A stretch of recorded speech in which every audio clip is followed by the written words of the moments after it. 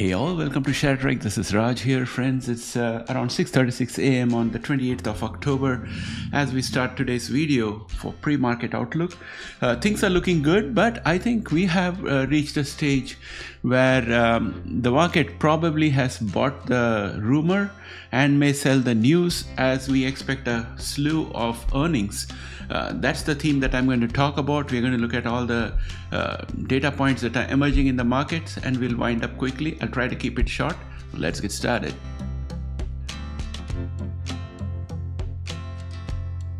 Welcome back, friends. We are looking at the CNBC website, and what we see here is a, a lot of greens. Uh, Dow future is up a healthy 49.49%. Uh, S&P futures is up a healthy 0.60%, and Nasdaq futures is up a healthy 0.76%.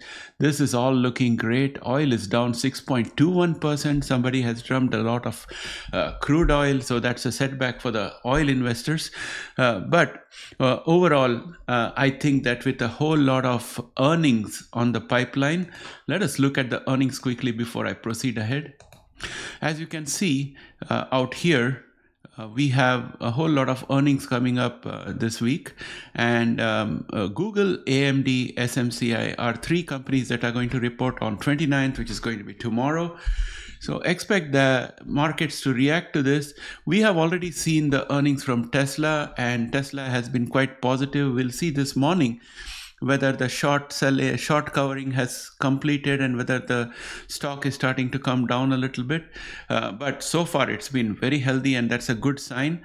And uh, hopefully uh, google amd and smci also go in the same direction with good earnings and good projections. Uh, however when you look at uh, the Fed uh, reducing interest rates, that doesn't lend itself to um, better outcomes going forward. The reason the Fed cuts rates is because the economy is losing steam. Uh, so we'll, we'll, we'll cross all those things when we hear the forward uh, projections from these companies. So not only do these companies uh, which report uh, on report later this week have to meet the expectation of the market in terms of performance right now, but also have to have a bright enough uh, projection for the future which matches or exceeds the current performance.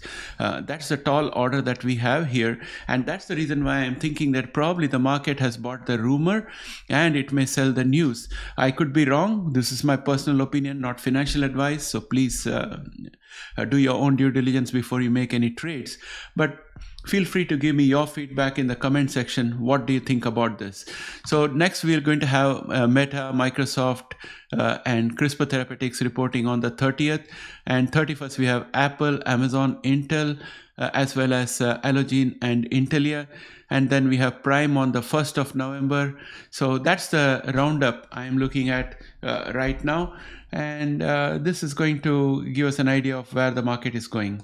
Uh, coming back to the news items, the next headline that caught my attention was TSMC suspends uh, shipments to China firm after chip found on Huawei processors, and uh, I think this would uh, bring a, a, lot of scrutiny to all the uh, chip manufacturers from the government, and we might probably have some price impact down the line, maybe 15, 20 days down the line. The other item is U.S. Treasury yields continue their ascent after hitting a three month high last week. So this could definitely uh, impact the housing market through mortgages.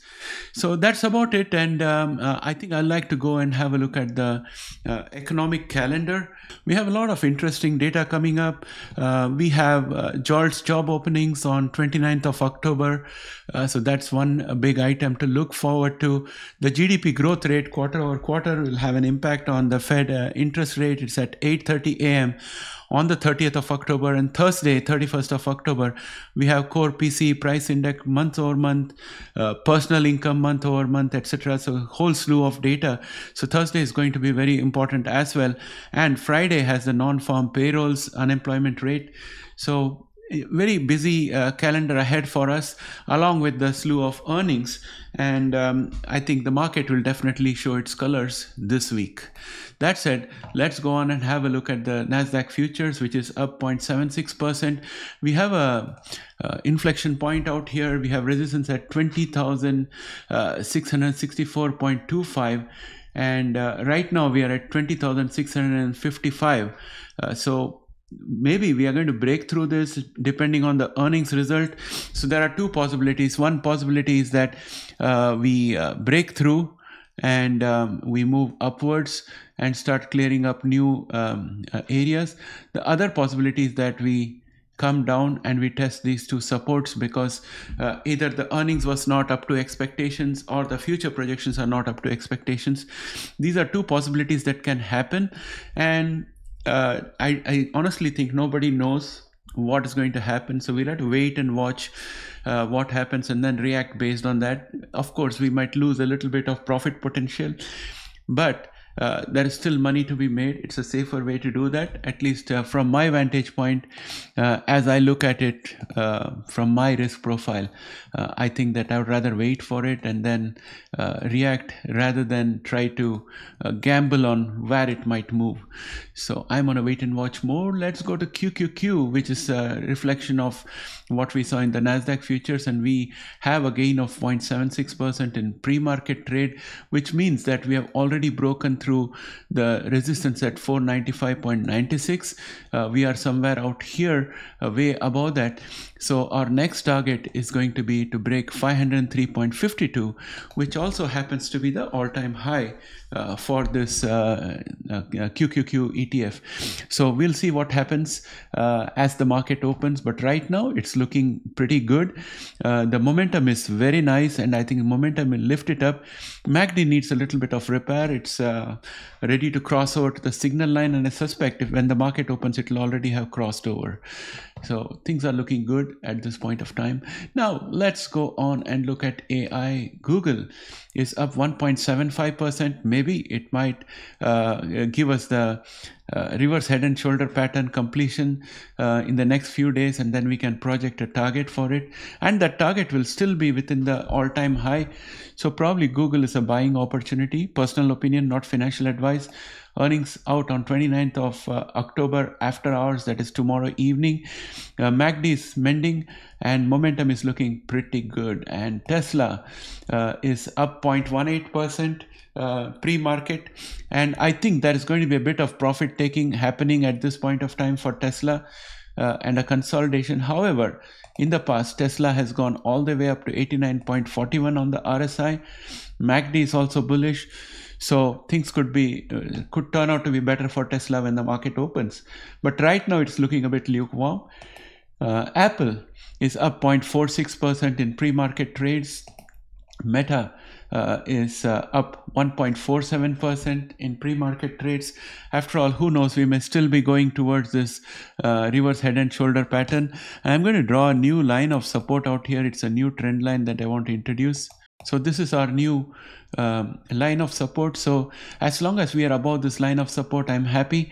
Uh, and I can say that we are still in a bullish phase for Meta. Amazon is up 0.73% in pre-market trades, looking pretty healthy. Microsoft is up 0.98% in pre-market trades, looking great. AMD is up 1.62% in pre-market trades, still within the bullish channel. Very happy about it. Uh, Palantir uh, is up 1.83% uh, in pre-market trades continuing on the bull channel. Let me draw the bull channel and make this formal. So here we are. This is the bull channel on which palantir is riding. I wouldn't mind if it got consolidated and uh, the angle becomes a little less steep but it's doing very well. Palantir is looking great on the charts. Uh, FNGU is up 2.63% in uh, pre-market trade, and we have uh, Broadcom uh, looking good, 0.71% in pre-market trade. MACD is very weak, but momentum is picking up. It's just at average, and I suspect when the market opens, it would be above average and uh, MACD would be moving closer to the signal uh, signal line. Uh, Oracle is up 0.63%. A lot of consolidation, probably another spike like this, and then another set of consolidation. That seems to be the pattern out here. Uh, Micron is up 0.44%, still on the bull channel. Uh, Cloudflare is up 1.25%. Uh, this is a bull flag which has got to move upwards, and I think that's what is happening today. And then we have NVIDIA which is up 1.10%. Uh, again, trying to reach its all time high and breach it.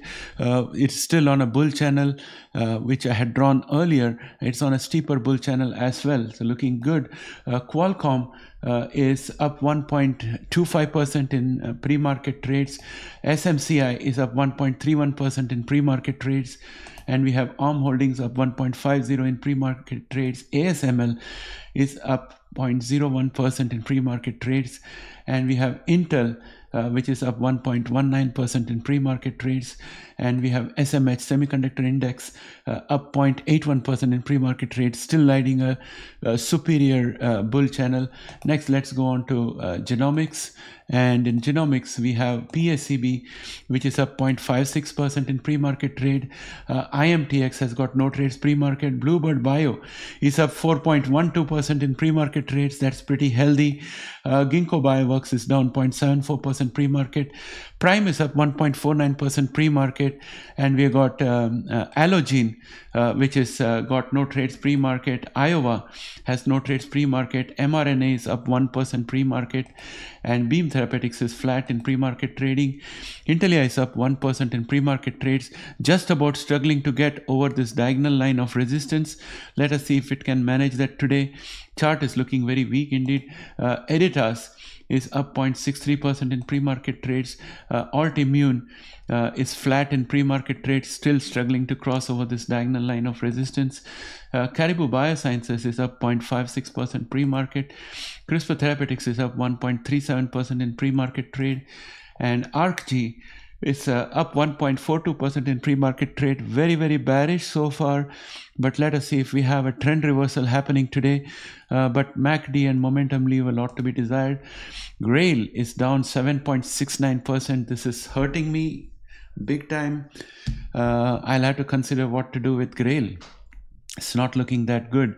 It's fallen below the last support of 12.67 that I had drawn. It's way below that. So I have to take some decision on that today.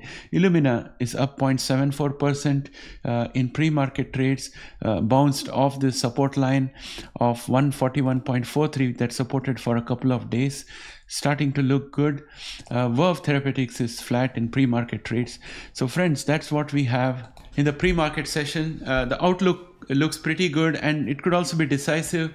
And uh, if there is going to be a drop in October, we might see uh, some of that manifest 29th onwards. If that doesn't happen, then I think then we'll have to look at November with a, a new outlook and uh, look forward to the Santa Claus rally. Maybe all the bad news that we expected did not happen, and uh, for a change, we should be positive. That's the way I'm looking at it. Please give me your feedback.